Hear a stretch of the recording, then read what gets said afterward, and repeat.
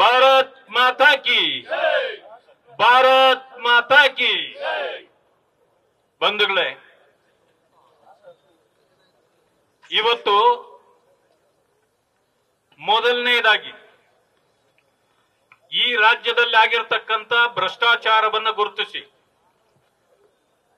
N D ಮಿತ್ರ ಪಕ್ಷಗಳೆಲ್ಲವೂ ಸೇರಿ ಮೈಸೂರಿನವರೆಗೆ ಬೆಂಗಳೂರಿನಿಂದ ನಡೆದು ನಾವು ರಾಜ್ಯದ ಗಮನವನ್ನ ಮತ್ತು ರಾಜ್ಯಪಾಲರ ಗಮನವನ್ನ ಸೆಳೆದಿದ್ದೇವೆ. ಇದನ್ನ ಗಮನಿಸಿದ ರಾಜ್ಯಪಾಲರು ಒಂದು ಉತ್ತಮವಾದ ಕಾರ್ಯವನ್ನು ಮಾಡಿದ್ದಾರೆ.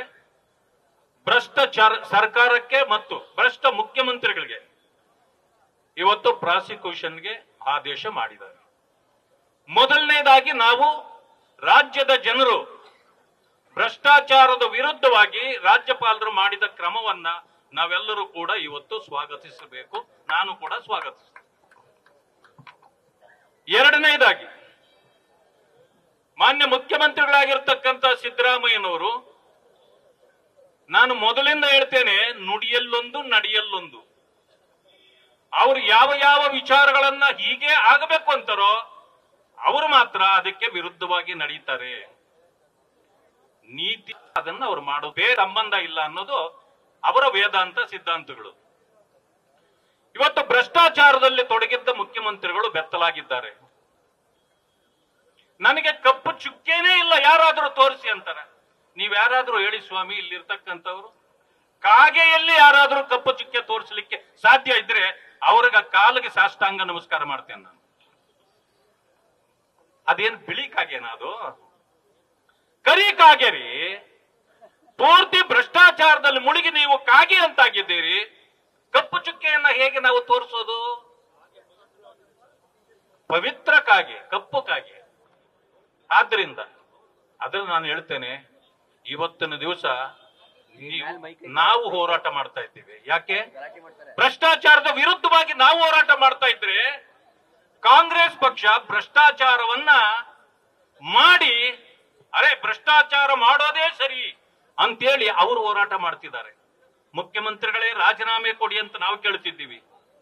ನಿಜವಾಗಿಯೂ ಬದ್ಧತೆ ಇದ್ದಿದ್ರೆ ಕಾಂಗ್ರೆಸ್ ಭ್ರಷ್ಟಾಚಾರಕ್ಕೆ ಜೊತೆಗೆ ಜೊತೆಗೆ ನಿಲ್ಲಲೇ ಇಲ್ಲ ನಿಲ್ಲೋದಿಲ್ಲ ಅಂತ ಏನಾದ್ರೂ ಅಂದಿದ್ರೆ ಮಾನ್ಯ ಸಿದ್ದರಾಮಯ್ಯನವರೇ, ನೀವು ರಾಜೀನಾಮೆ ಕೊಡಿ ಅಂತೇಳಿ ಕಾಂಗ್ರೆಸ್ ಹೋರಾಟ ಮಾಡಬೇಕಾಗಿತ್ತು.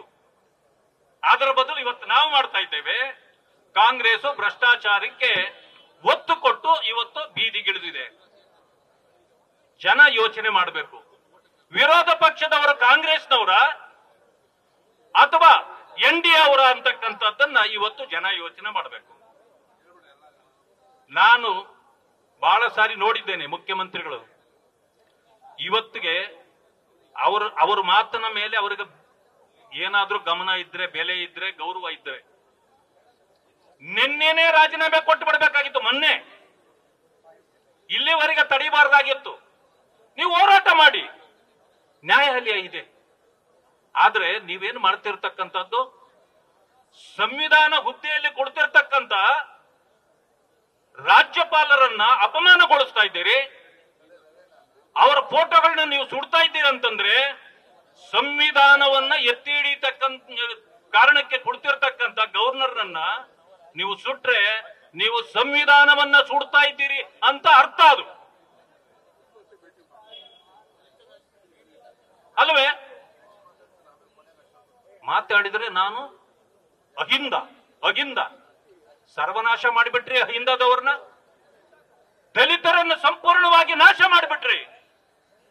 ಇವತ್ತು ಎಲ್ಲ ಹಗರಣಗಳು ಬಂದಿರತಕ್ಕಂಥದ್ದು ದಲಿತರ ಹಣ ಲೂಟಿ ಮಾಡಿದ್ದೆ. ಆದ್ರೆ ದಲಿತರು ನಿಮ್ಮನ್ನ ನಂಬಿದ್ರು. ಯಾಕೆಂದ್ರೆ ನೀವು ಹೇಳ್ತಕ್ಕಂತ ಸುಳ್ಳುಗಳು ಸುಳ್ಳುಗಳು ಎಷ್ಟು ರುಚಿಕರವಾಗಿರುತ್ತೆ ಅಂದ್ರೆ ನೀವು ಯಾರ ಮುಂದೆ ನಿಂತು ಮಾತಾಡಿದ್ರೆ ಪಾಪ ಅವ್ರನ್ನ ನಿಮ್ಮ ನಂಬಿಡ್ತಾರೆ. ಆ ರೀತಿ ದಲಿತರನ್ನು ನಂಬಿಸಿದ್ರಿ. ಆ ನಂಬಿದ ಜನರನ್ನ ಚರ್ಮ ಸುಳಿದು ಚಪ್ಪಲಿ ಮಾಡ್ಕೊಂಡು ಓಡಾಡ್ತಿದ್ದೀರಿ. ನಿಮಗೆ ನಾಚಿಕೆ ಆಗೋದಿಲ್ವೇನ್ರಿ? ನಾಚಿಕೆ ಆಗೋದಿಲ್ವಾ ನಿಮಗೆ? ಈ ಈ ರಾಜ್ಯದ ರಾಜ್ಯಪಾಲರು ಕೂಡ ದಲಿತರು. ಅವರನ್ನ ಎಷ್ಟು ಕನಿಷ್ಠವಾಗಿ ಮಾತಾಡ್ತಿದ್ದೀರಿ ಎಂತ ಕೆಟ್ಟ ಪದಗಳನ್ನ ಬಳಕೆ ಮಾಡ್ತಾ ಇದ್ದೀರಿ? ಇದರಿಂದಾಗಿ ನಿಮ್ಮ ದಲಿತ ಪ್ರೇಮ ಏನು ಅಂತಕ್ಕಂಥದ್ದು ನಮಗೂ ಗೊತ್ತಿದೆ. ಪಾಪ ಹೇಳಿದ್ರು ಸರವಣ್ಣನವರು ಬೇರೆಯವರೆಲ್ಲ ಜನತಾದಳದಲ್ಲಿದ್ದಾಗ ಈ ತರ ಅವರು ನಡ್ಕೊಂಡಿಲ್ಲ ಅಂತ. ಇರ್ಬೋದಪ್ಪ, ನನಗೇನು ಅಷ್ಟೊಂದು ಗೊತ್ತಿಲ್ಲ. ಆದ್ರೆ ನಾನು ಹೇಳ್ತೇನೆ, ಕಾಂಗ್ರೆಸ್ ಅಂತ ಆ ಗುಂಡಿಗೆ ನೀವು ಇಳಿದ ಮೇಲೆ, ಕಸದ ಗುಂಡಿಗೆ, ಇನ್ನು ಕಸದಲ್ಲೇ ಬದುಕಬೇಕಲ್ಲ? ಆ ಕಾರಣಕ್ಕೇನೆ ಭ್ರಷ್ಟಾಚಾರ ಕಾಂಗ್ರೆಸ್ನ ಕೊಡುಗೆ ಈ ದೇಶಕ್ಕೆ. ಆ ಪಕ್ಷಕ್ಕೆ ಹೋದ್ಮೇಲೆ ನೀವು ಭ್ರಷ್ಟಾಚಾರ ಮಾಡ್ಲಿಲ್ಲ ಅಂದ್ರೆ ಅಲ್ಲಿರೋರು ಬಿಡ್ಬೇಕಲ್ಲ ನಿಮ್ಮನ್ನ? ನಿಮ್ಮನ್ನ ನಿದ್ದೆ ಮಾಡಕ್ ಅಲ್ಲಿರೋ ಜನ ಬಿಡ್ಬೇಕಲ್ಲ? ಅದಕ್ಕೆ ಇವತ್ತು ನಿಮ್ಮನ್ನ ಆ ತೊಟ್ಟಿಯಲ್ಲಿ ಮುಳುಗಿಸಿ ಎತ್ತಿದ್ದಾರೆ. ಆದ್ರಿಂದ ಇವತ್ತು ನಾನು ಸುಳ್ಳು ಹೇಳ್ತಾ ಇರಲಿಲ್ಲ. ಸಿದ್ದರಾಮಯ್ಯ ಸುಳ್ಳು ಹೇಳಲ್ಲ ಅಂತ ನಾನು ತಿಳ್ಕೊಂಡಿದ್ದೆ ಮೊದಲು. ಅಲ್ಲಿ ಸುಳ್ಳು ಹೇಳ್ತಿದ್ದವರು ಬಂಗಾರಪ್ಪ ಹೇಳ್ತಿದ್ರು, ಅಲ್ಲಿ ಸುಳ್ಳು ಹೇಳಕ್ ಒಬ್ಬರೇ ಇರೋದು ಯಾರು ಅಂತಂದ್ರೆ ವೀರಪ್ಪ ಮೊಯ್ಲಿ ಅಂತ ಹೇಳೋರು ಮೊದಲು. ನಾನು ಅವ್ರ ಬಾಯಲ್ಲಿ ಕೇಳಿದ್ದು. ಅವರನ್ನು ಮೀರಿಸ್ಬಿಟ್ಟಿದ್ದಾರೆ ಈಗ ಸಿದ್ದರಾಮಯ್ಯ ಸುಳ್ಳು ಹೇಳೋದ್ರಲ್ಲಿ, ಮೋಸ ಮಾಡೋದ್ರಲ್ಲಿ, ವಂಚನೆ ಮಾಡೋದ್ರಲ್ಲಿ, ಭ್ರಷ್ಟಾಚಾರ ಮಾಡೋದ್ರಲ್ಲಿ. ಆದ್ರಿಂದ ನಾನು ಆಗ್ರಹ ಪಡಿಸ್ತೇನೆ. ನಾನು ಆಗ್ರಹ ಪಡಿಸ್ತೇನೆ. ತಕ್ಷಣ ರಾಜೀನಾಮೆ ಕೊಟ್ಟು ಹೋಗ್ಬೇಕು.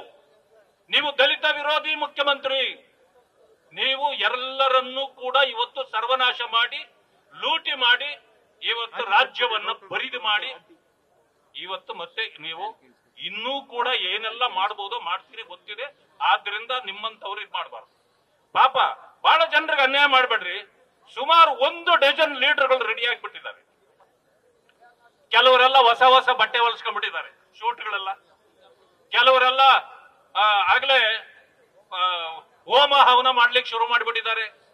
ಇನ್ನೊಬ್ರು ಬಂಡೆ ಬಂಡೆ ಅಂತಿದ್ರಲ್ಲ, ಬಂಡೆ ಪಕ್ಕದಲ್ಲೇ ಇದೆ, ಯಾವಾಗ ನಿಮ್ಮನ್ನು ತಳ್ಳಿಸೋದು ಗೊತ್ತಿಲ್ಲ. ಇನ್ನೆಲ್ಲರೂ ಕೆಲವರು ಮನೆಗೆ ಸುಣ್ಣ ಬಣ್ಣ ಹಚ್ಚಕ್ ಶುರು ಮಾಡ್ಬಿಟ್ಟಾರೆ. ಯಾಕೆ ಗೊತ್ತೇನೋ? ನಾನು ಮುಖ್ಯಮಂತ್ರಿ ಆಗ್ತೀನಿ, ನಾನು ಮುಖ್ಯಮಂತ್ರಿ ಆಗ್ತೀನಿ.